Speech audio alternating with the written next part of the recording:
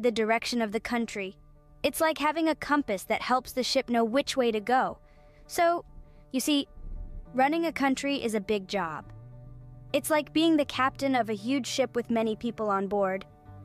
The president, the premier, the National People's Congress, and the Communist Party of China all work together to make sure the ship sails smoothly and reaches its destination. But, just like a ship, a country needs more than just a good captain and crew. It also needs good tools and equipment. In the next part of our journey, we're going to explore the amazing tools and technology that China uses to help its people and make the country even better. Understanding how a country is governed is important, isn't it? Now let's explore China's technological advancements. China isn't just about history and culture, it's also a leader in technology.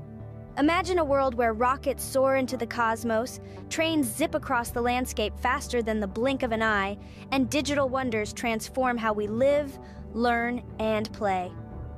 That's not a dream, my friends, that's China today.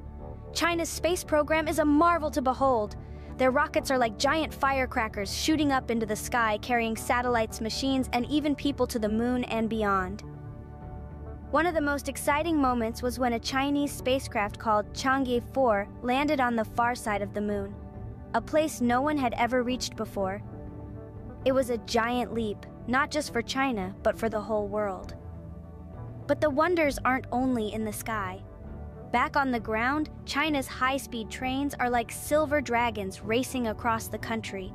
They're so fast, they make the rest of the world seem like it's moving in slow motion.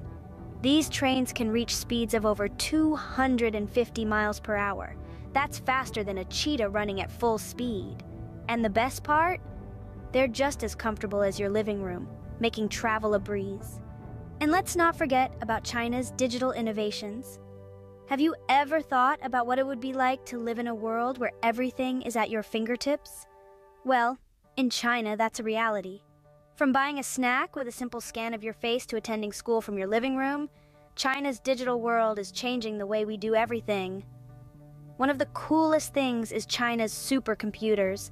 These machines are like a million brains working together at the speed of light, solving problems, predicting weather, and even helping to create new medicines. The Sunway TaihuLight, for example, is one of the most powerful supercomputers in the world. It can perform